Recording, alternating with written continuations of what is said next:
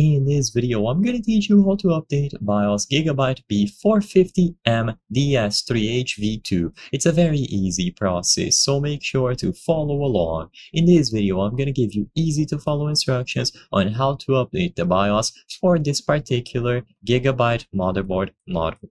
Keep in mind that these instructions are also going to apply for any other model that you have, either from Gigabyte or other manufacturers, and all that you need is a USB drive. You will be downloading the BIOS files from the official website and then loading them into the USB drive. I highly recommend that you wipe the drive beforehand, so format it accordingly.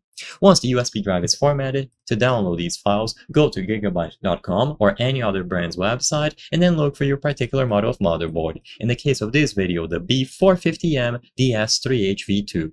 So you download it by going over to support and then scrolling down until you find BIOS. Now you can download the latest driver available.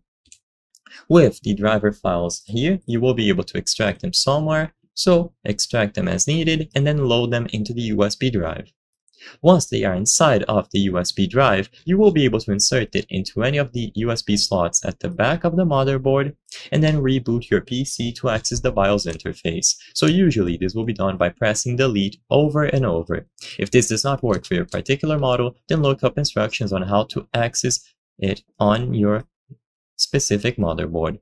Inside of the BIOS, go into QFlash. If you don't see it, make sure that you switch from easy mode to advanced mode. You can find it on the home screen or choose QFlash at the bottom right corner.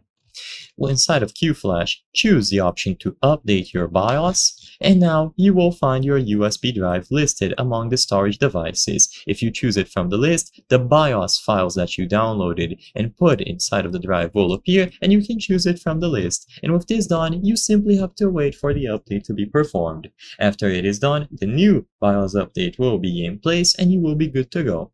I hope I was able to help you on how to update BIOS on Gigabyte B450M DS3HV2. If this video helped you, please be sure to leave a like and subscribe for more very easy tips. Thank you for watching.